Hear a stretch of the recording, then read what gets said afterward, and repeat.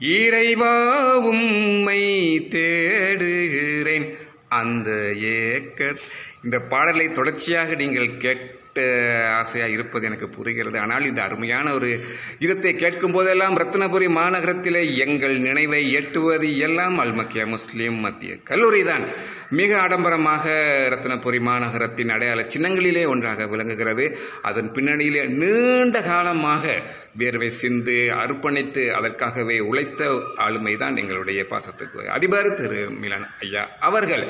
Sir உங்களிடம் நாங்கள் கொஞ்சம் பேச நினைச்சோம். இந்த பாடசாலையிலே முதல் நாள் நீங்கள் வந்தவுடன் உங்களது நினைவலைகள் எவ்வாறு இருந்தது என்று சொல்லுவீர்களா? உண்மையிலே இந்த பாடசாலைக்கு நான் ஆயிரத்தி தொள்ளாயிரத்தி தொண்ணூற்றி எட்டாம் ஆண்டு பிப்ரவரி மாதம் ஒன்பதாம் தேதி சமூகம் தந்து அந்த நேரம் பாடசாலை நிலைமைகள் மிக மோசமான கட்டத்தில் அந்த காலகட்டத்தில் தான் இருந்தது. வளங்கள் மற்றும் மனித வளம்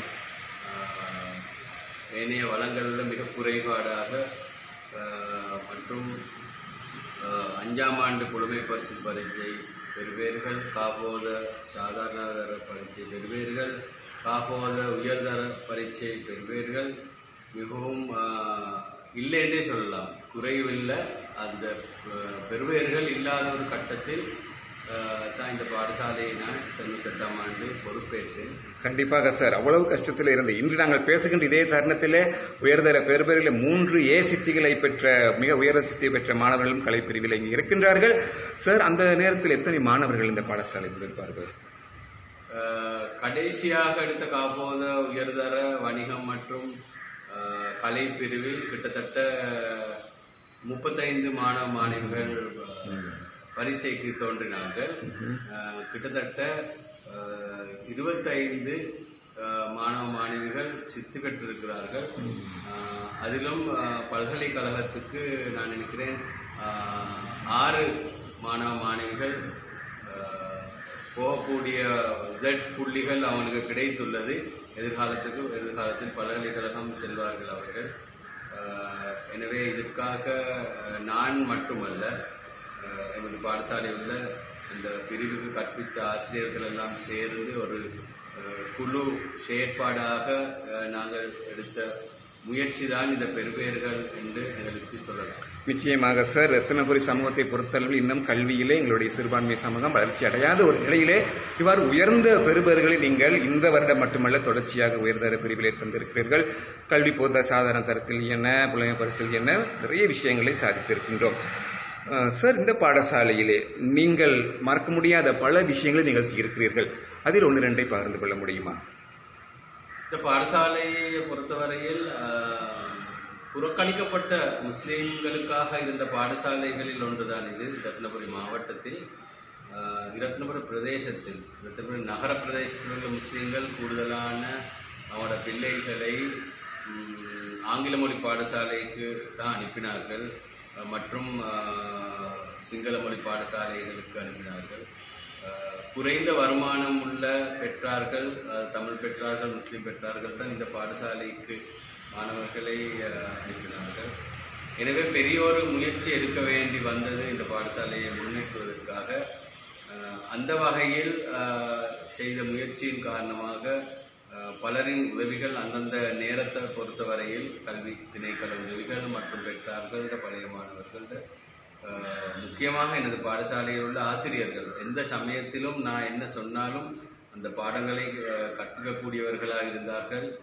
எந்த ஒரு குறைபாடும் இருக்கவில்லை.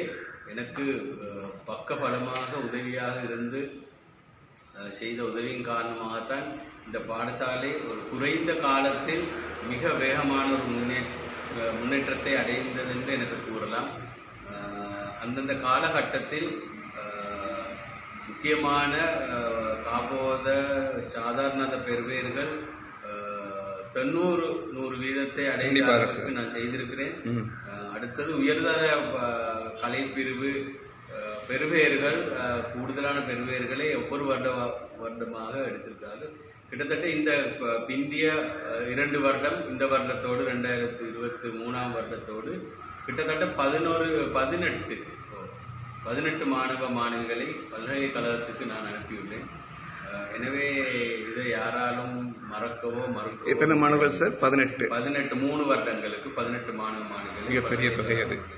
அனைவரும் ரத்தினபுரி மாவட்டம் இந்த பிரதேசத்தை சேர்ந்தவர்கள். அனைவரும் இரத்தினபுரி மாவட்டத்தில் உள்ள தமிழ் முஸ்லிம் மாணவ மாணவர்கள். அதை எனக்கு சந்தோஷமாக கூறலாம். நிச்சயமாக. இந்த பாடசாலைக்கு கஷ்டப்பட்டிருக்கிறேன்னா அதை யாராலும் மறுக்க முடியாது. அந்த முயற்சியின் காரணமாக தான் இந்த பாடசாலை முன்னேறியது என்று எனக்கு சொல்லலாம். கண்டிப்பாக சார் இப்போ அடிக்கடி இங்கே வெள்ளப்பெருக்கு வருகின்ற சந்தர்ப்பங்கள் இருந்திருக்கின்றன. அவ்வாறான ஒரு நிலையிலே உங்களது எண்ணம் எப்படி இருந்தது? பொதுமகன் கொடுத்து எதுவும் ஒரு ஆர்வமூட்டக்கூடிய சந்தர்ப்பம். வெள்ளப்பெருக்கு ஏற்படுகின்ற காலகட்டத்தில் சுருக்கமாக சொல்ல போனால் நம்ம பாடசாலைக்கு வரக்கூடிய மாணவ மாணவிகளின் வீடுகள் கூட அந்த வெள்ளப்பெருக்குகளுக்கு வெள்ளப்பெருக்குகளை சந்திக்கக்கூடியவர்களாக தான் இருந்தார்கள். வெள்ளப்பெருக்கு முடிந்தவுடன் அவசரமாக பாடசாலைக்கு யாரும் வரக்கூடிய அமைப்பில் இல்லாத கட்டங்களை தான் நான் முகம் கொடுத்திருக்கின்றேன். என்றாலும் கூட வெள்ளப்பெருக்கிலேயே நான் பாடசாலைக்கு எப்படியா வந்துரு எந்த ஒரு வெள்ளப்பெருக்கிலையும் நான் பாடசாலைக்கு எந்த ஒரு விளைவையும் ஏற்படுத்த நான் விடவில்லை எப்படியாவது வந்து பக்கத்தில் உள்ளவர்கள் வெள்ளப்பெருக்கை சந்திக்காத பெற்றார்கள் மாணவ மாணவிகளை அழைத்து எப்படியாவது குறைந்தது இரண்டு மூணு நாட்களுக்குள்ள மீண்டும் இருந்த அளவுக்கு அந்த பாடசாலையை மீட்டெடுத்து கல்வியை மேற்கொள்ளக்கூடிய அளவுக்கு நான் வெள்ளப்பெருக்குகளை சந்தித்திருக்கிறேன். அதற்கான அத்தனை படங்கள் உதாரணங்கள் எனக்கு காட்டக்கூடியதாகவும் இருக்கின்றது. நிச்சயமாக சார் இப்போ யாராவது ஒரு புதிய அனுமதி பாடசாலைக்கு வருகின்ற போது கேட்டால் எங்க வருகிறோம் கேட்ட அன்னைக்கு நாங்கள் அதிபருக்காக வரோம். அதிபர் மிலான் சார் இருக்கிறாருன்ற மாதிரி உங்களுடைய தனிப்பட்ட ஆளுமைக்காகவே இங்கே அநேக மாணவர்கள் அனுமதி எடுத்து கற்றிருக்கின்றார்கள். மிக சந்தோஷமான செய்தி. அது இந்த ரத்தினபுரி மாவட்டத்திலே தமிழ் பேசும் கல்வி குழுவுக்கு மிக தெரிந்த செய்தி தான் விசேஷமாக தமிழ் மொழி தின போட்டிகள் பலவற்றை நீங்கள் தலைமை தாங்கி நடத்திய அனுபவம் எங்களுக்கு இருக்கிறது. அதே போல இந்த பிரதேசத்தின் அதிபர்கள் மத்தியிலே சிறந்த ஆளுமையுள்ள ஒரு நபராக விளங்கி அவர்களுக்கு தேவையான போதெல்லாம் உதவிக்கரம் நீட்டி இருக்கின்றீர்கள் சகோதர அதிபர்களோடு பழகிய அனுபவத்தை பற்றி கூறுங்களேன். சகோதர அதிபர்கள் என்றால் தமிழ் என்னோடு இருந்த தமிழ் முஸ்லிம்கள் அதிபர்கள் மாத்திரமல்ல சிங்கள பாடசாலைகள் அதிபர்கள் கூட என்னோட மிக அந்நியோன்யமாக இருந்தார்கள். எந்த ஒரு பாடசாலைகளில் என்ன இருந்தாலும் ஆஹ், நான் இல்லாத விழாக்கள் அங்கே இருக்காது. எந்த ஒரு இது ரத்னபுர நகரத்தில் உள்ள எந்த ஒரு சிங்கள தமிழ் முஸ்லிம் பாடசாலைகளிலும் அது மாதிரியே எமது பாடசாலைகளில் என்ன இருந்தாலும் அவர்கள் இருப்பார்கள். எனவே என்னோடு அத்தனை அதிபர்கள் இந்த இந்த பிரதேசத்தில் உள்ள அமைந்துள்ள பாடசாலைகளில் அத்தின் அத்தனை அதிபர்களும் என்னோட மிக நெருங்கியவர்களாக மிக நண்பர்களாக என்னோட அன்பாக இருக்கக்கூடியவர்களாக இருந்தது என்று எனக்கு நிச்சயமாக சார் நாங்கள் எல்லோரும் கண்கூடாக பார்த்திருக்கின்றோம். யார் பாடசாலைக்கு வந்தாலும் அவர்களை இன்பமுத்துடன் வரவேற்று அவர்களை அனுசரித்து அவர் இந்த சமயத்தவரா இந்த ஊரு என்று இதெல்லாம் பார்க்காமல் அனுசரித்திருக்கு அதே போல் இந்த பாடசாலையிலே தூர பிரதேசத்தில் இருந்து விசேஷமாக மாவண்ணல்லை அல்லது பொத்துவில் பக்கம் நிறைய ஆசிரியர் கடமையாற்றி இருக்கின்றார்கள் அவர்களை கூட மனசு நோக்காது அனுசரித்த பல அனுபவங்கள் உங்களுக்கு இருக்கின்றது சார். அதை பற்றி தூர இடத்திலிருந்து வருகிறவர்கள் உடனடியாக இடமாற்றம் கேட்பார்கள். அந்த அனுபவங்களை பற்றி சொல்லுங்கள் தூர இடத்திலுள்ள அதிபர்கள் மிக வே- வேண்டிய எனது சேவை காலத்தில் கிட்டத்தட்ட இருபத்தஞ்சு முப்பது ஆசிரியர்கள் ஒவ்வொரு பாடம் சார்பாக மாநில பிரதேசங்களில் மற்றும் கல்முனை அக்கரப்பத்து அஹ், சாய்ந்தமருது கிண்ணியா அப்படி தூர தென்கிழக்கு பிரதேசங்களில் இருந்து யாழ்ப்பாணத்தில் கூட எமது பாடசாலையில் வந்து கற்பிச்சிருக்கிறார்கள் அவர்கள் வந்த உடனேயே மிக கவலையோடு ஆத்திரத்தோடு எப்படி நாங்கள் இந்த தூர பிரதேசத்தில் இருப்போம் என்ற நினைவில் தான் வந்து ப- கடமையை பொறுப்பேற்று ஒரு வாரம் கூடினா போகும். ஒரு வாரம் ரெண்டு வாரம் கூடினா போகும். அவர்கள் இது நம்ம எங்கட பாடசாலை நாங்கள் இதில் வந்தத இந்த சேரோடு இந்த அதிபரோட இந்த ஆசிரியர்களோட சேவை செய்துவிட்டு தான் போகணும் என்ற நிலையில் இருப்பார்கள். அவர்களுக்கு எந்த குறையும் நாம் வைக்க மாட்டேன் எந்த ஒரு ஆசிரியைகளாக இருக்கலாம் ஆசிரியர்களாக இருக்கலாம். அவர்களுக்குரிய பாதுகாப்பு உதவி அத்தனை தேவைகளையும் நான் செய்து கொடுக்கக்கூடியவனாக இருந்தேன். அது மாத்திரமல்ல அவங்க அவங்க உதாரணத்துக்கு அவங்க எந்த ஒரு ஆசிரியர்களும் ஒரு முதல் நியமன பாடசாலையில் ஐந்து வருட காலம் சேவை இருக்கணும் என்ற நிலையில் தான் நியமனம் கொடுப்பார்கள். அதே மாதிரி நான் அவங்கள ஐந்து வருடம் அவங்க அழகான சேவையை செய்தவர்களுக்கு அவங்க போக வேண்டிய அவசியம் இல்லை. நானே சென்று அவங்களுக்கு தேவையான இடங்களுக்கு அவங்களுக்கு இடமாற்றத்தையும் நான் செய்து கொடுத்தவனாக இருக்கிறேன். அதை அவர்களால் மறக்க முடியாது.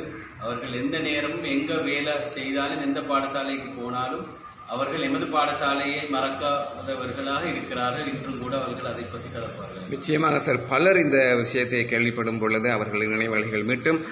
எனக்கும் ஒரு அனுபவம் இருக்கிறது. இங்கே ஒரு விஞ்ஞான ஆசிரியர் இருந்தார். அவர் வந்த புதிய காலம் அது. நான் பகுப்பறையில் கடமையை பார்த்தவுடன் அவர் சிறிய சங்கடம் ஏற்பட்டு விட்டது. இப்போ ஒரு அதிபருடைய ஆளுமையை நான் அன்றுதான் கண்டேன். என்னிடம் எதுவுமே அது தொடர்பாக விசாரிக்காது. அவர் சம்பவத்தை கேட்டு அறிந்து கொண்டு அதன்படி அவர் துலங்கினார். அப்போது நினைத்தேன் அதிபர் மிலானனுடைய சக்தி இதுதான் என்று சொல்லி அதை ஈடு செய்வதற்கு எத்தனை தலைமுறை வந்தாலும் முடியாது. அந்த குறித்த ஆசிரியர் பேரை நான் இங்கே சொல்லவில்லை. ஆனால் இந்த சம்பவத்தை சின்ன சம்பவமாக இருந்தாலும் கூட அது ஒரு அதிபருடைய முழு ஆளுமையை வெளிப்படுத்துவதாக இருக்கிறது. சமூகத்துக்கான செய்திதான் இவைகள். என்றால் ஒரு ஒரு கப்பலிலே தலைவன் எவ்வாறு இருக்கின்றன. அதன்படிதான் எவ்வளவு பெரிய கடினமான சூழ்நிலை கப்பல் பயணம் செய்கிறது. அல்முக்கியாவும் பல சவால்களை கண்டிருக்கிறது. எங்களுக்கு அது தெரியும். பல சவால்கள் இந்த சமூகத்தில் இருந்தும் அல்லது வேறு சமூகத்தில் இருந்தும் அல்லது வேறு விதமான முறையிலே சகலவற்றையும் தாங்கி நின்று இமயம் போல சமாளித்தவர் தான் எங்களுடைய அதிபர். சார் நீங்கள் சந்தித்த மிகப்பெரிய சவால் என்று சொன்னால் இந்த பாடசாலை எதை நீங்கள் மீட்டி பார்க்க பார்க்கிறீர்கள்? பெரிய சவால்னா இந்த பாடசாலையை நான் கையில் எடுத்ததே பெரிய சவால். எனது முப்பத்து நாலு வயது. எனக்கு இந்த பாடசாலை Wow. இருக்கும்போது முப்பத்து நான்கு வயது எனக்கு.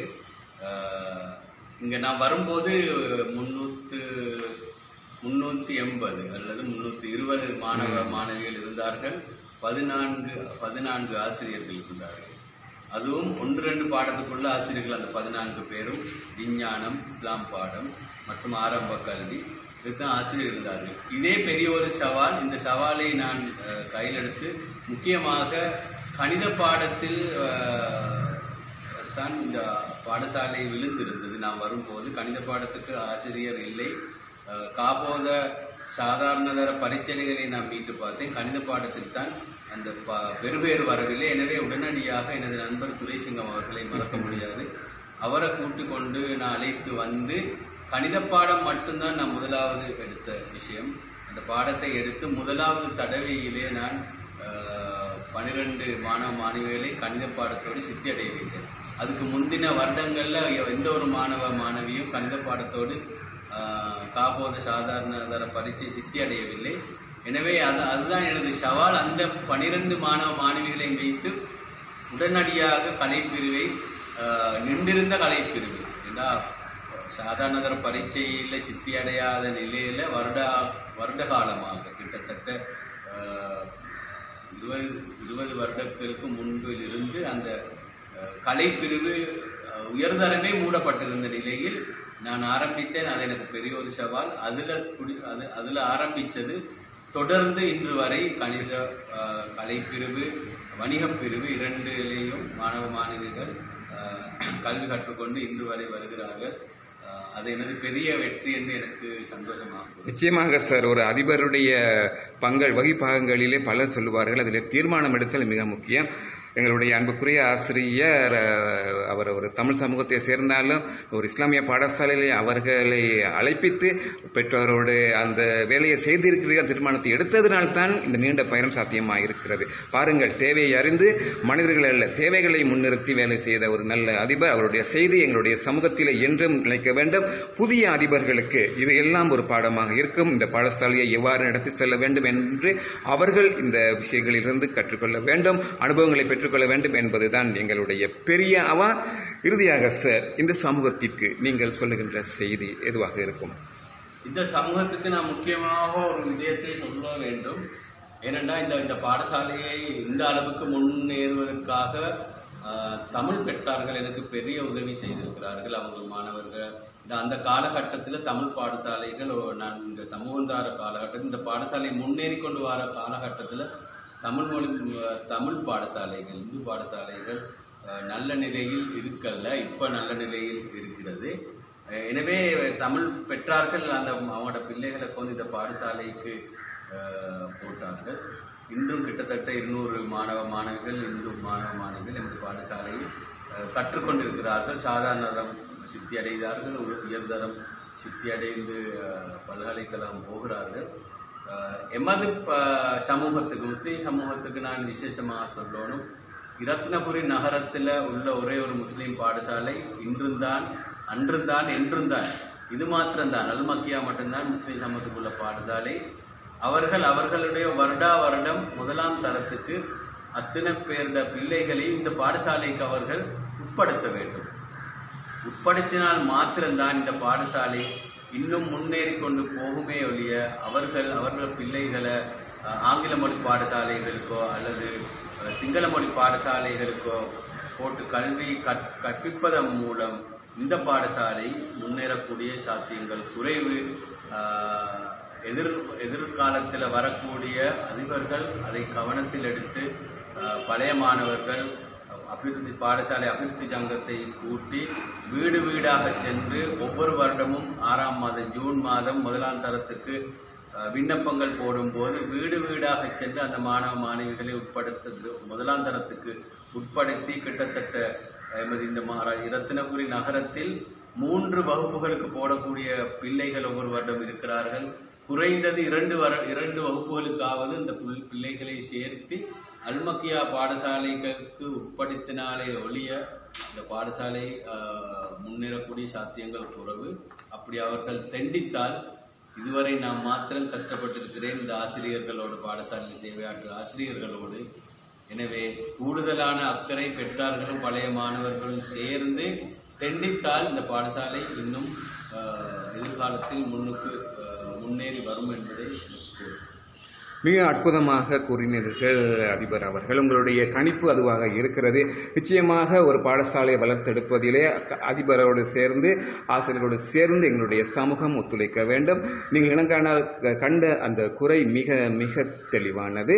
இந்த செய்தியை சமூகம் இருக பற்றி கொண்டால் அடுத்து வருகின்ற காலங்களிலே அல்மக்கியா முஸ்லிமா வித்யாலயம் தொடர்ந்து வீர்நடை போடும் என்று நாங்கள் எதிர்பார்க்கின்றோம். நல்ல ஒரு அதிபருக்கு மட்டுமல்ல ஒரு மனிதருக்குரிய பண்பு அதுதான். இப்பொழுது நான் விடைபெற்று பட்டுவிட்டேன் இவை பாடசாலையில் மாணவர்கள் குறைய வேண்டும் அல்லது வேறு ஏதாவது நடக்க வேண்டும் என்று இல்லாமல் அவர் மிக அற்புதமான ஆலோசனையை வருங்கால அதிபருக்கு முன்வைத்து இப்போது இருப்பதை விட அல்மக்கியா முஸ்லீம் மத்திய கல்லூரி வானலாக வளர வேண்டும் என்று அவர் இயங்குகிறார். அந்த இயக்கம் நிச்சயமாக நிறைவேறும். அதிபர் அவர்களே நீங்கள் எங்களுடைய சட்ட திட்டத்தின்படிதான் ஓய்வு பெற்ற அதிபராக அழைக்கப்படுவீர்கள். ஆனால் இந்த சமூகம் உங்களுக்கு ஒரு போதும் ஓய்வு கொடுக்காது என்பதுதான் எங்களுடைய கணிப்பு. எல்லாம் அல்ல இறைவன் இதற்றை அவதானித்திருக்கின்றார் நீங்கள் எவ்வளவு காலம் இரு- இருக்கிறீர்கள் அவ்வளவு காலமும் இந்த பாடசாலையோடு நல்லதொரு உறவை கட்டி எழுப்பி தொடர்ச்சியாக உங்களுடைய பங்களிப்பை வழங்க வேண்டும் என்று ரத்தினபுரி கல்வி வலயத்தின் சார்பிலும் ஆசிரிய ஆலோசகர் என்ற ஒரு சார்பிலும் நான் அன்பாக கேட்டு விடைபெறுகிறேன். இந்த அருமையான நேரத்துக்கு நன்றி சார்.